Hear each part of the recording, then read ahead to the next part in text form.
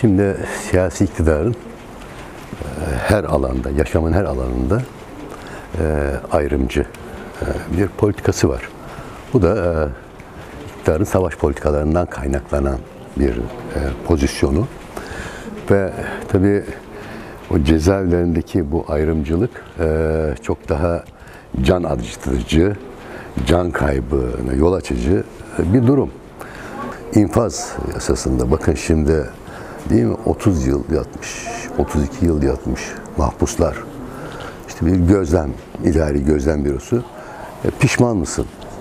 Niye pişman olsun? Yani inancından, davasından eee ötürü cezaevinde yatıyor. 30 yıl özgürlüğünden yoksun kalmış bir insanı çıkarken pişman mısın?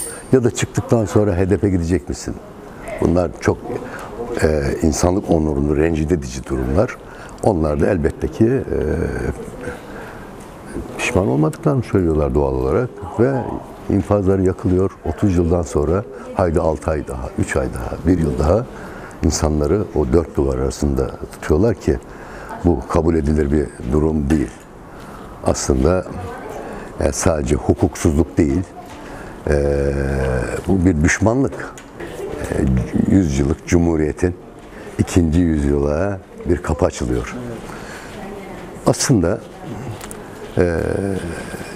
halklarıyla barışmak isteyen bir siyasal iktidar için bu bir fırsattır. Ee, bütün siyasi mahpusları, e, muhalif siyasetçileri, gazetecileri, hak savunucularını e, yarın serbest bırakıp Cumhuriyet'in yüzyılı nedeniyle toplumsal bir barışa ilk adımı atabilir. İşte bu bir fırsattır aslında. Ee, ama ne yazık ki e, işte şimdi her yer bayraklarla döşendi Ee, ve kutluyorlar. Neyi kutluyorsunuz? Yani aslında 100 yılın bence sorgulanması için de bir fırsattır bu.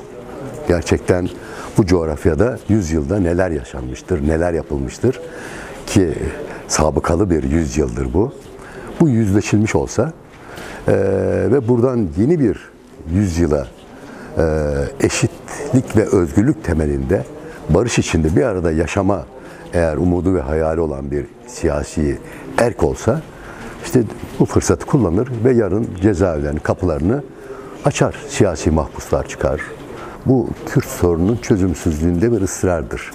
Tecritteki ısrar. Ve o tecridi bütün cezaevlerine e, yayıyorlar. Bakın şimdi biraz sonra burada barışa çağrı e, yapılacak. İki yıl önce yine tecride karşı burada bir barış konferansı düzenlenmişti.